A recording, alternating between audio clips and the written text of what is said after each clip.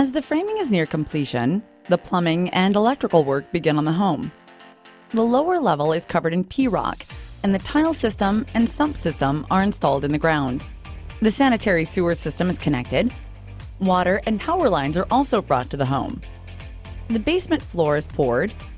Upper level plumbing, furnace venting, and electrical is passed through the floor and into the truss system, with the utility room becoming home to the furnace, air exchanger, future water heater, water softener, and low voltage wiring. Foil wrapped sheathing is secured to the concrete walls and is an insulation barrier. The shower stall is secured into position.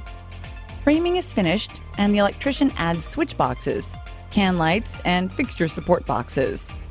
Spray foam is added to the rim joist and vapor barrier, and fiberglass installation is added between the studs.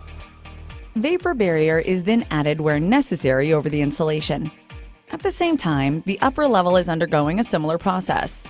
Plumbing for drains and showers and toilets is added with the shower stall being added and secured into position.